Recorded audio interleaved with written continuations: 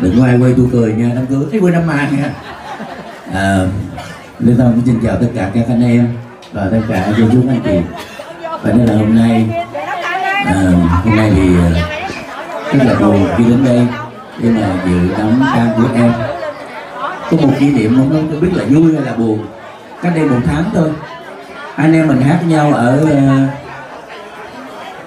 anh Vinh Cầu Qua ở Hầm Phú Hàm Thuận. Em mới đi theo anh hoài em nói ờ, anh lớn rồi.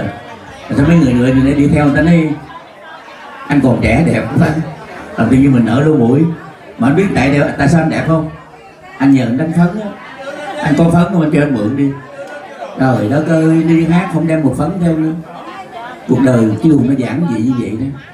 Rất là đơn giản, của em rất là giản dị. Sống rất là tình cảm. Và bây giờ em đi rồi, thì ờ, ừ, không biết nói gì hơn một lời cầu chúc. Anh biết cho nên chúc em siêu thoát không? Nhưng mà anh chúc một điều. Mai mốt nếu mà có siêu thoát nếu mà có kiếp sau nhớ một điều trở lại làm nghệ sĩ tiếp nha. Vâng mong em trở lại làm nghệ sĩ. Siêu thoát đừng có đổi thành người khác đừng có làm cái gì gì khác bác sĩ cái gì hết. Đừng có làm bác sĩ làm đạo diễn làm đừng làm gì hết. Làm nghệ sĩ khổ lắm. Không vùng nước khoái mai mốt làm nghệ sĩ hát cho bà con tới coi nữa bà con đồng ý mà đồng ý vỗ tay cho chị hùng mai mốt làm nghệ sĩ tiếp. Bây giờ. Bây giờ thì lên tâm hát một bài hát cũng nói về nghệ sĩ.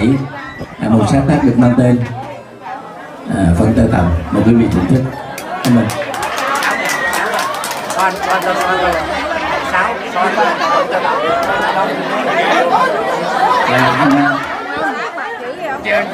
đầy đủ hết. Không ngờ đâm đâm em lấy nước suối cho anh rồi đó.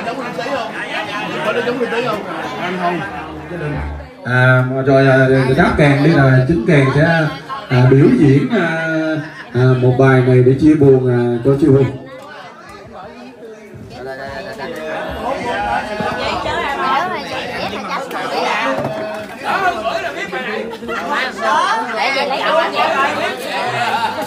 À, kính thưa quý vị, anh à, La Kính là một uh, người nghệ sĩ cũng đi uh, trong đoàn với chương trình ảnh thì hát rất độc nhưng mà ba đêm nay thì lại chào anh chị đến đây đó chị ờ, đám tang của anh chị Hùng và đó là điều rất lợi là thích đối với gia đình đối với chàng anh Ba chị.